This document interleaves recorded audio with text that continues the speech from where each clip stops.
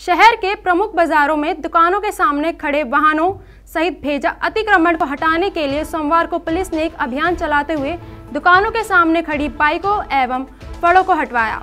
इस दौरान कई दुकानदारों ने पुलिस की इस कार्यवाही को देखकर खुद ही सामान को लेकर भागते नज़र आए।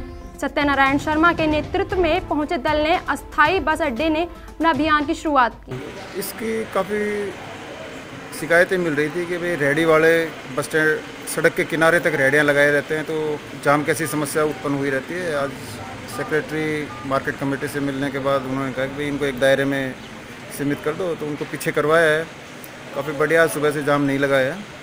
अगर आगे से लोग इस तरह से रेडियों से अतिक्रमण करके जाम वगैरह की स्थिति उत्पन्न करेंगे तो इनके खिलाफ कार्रवाई करेंगे, इनका सामान जब्त करेंगे।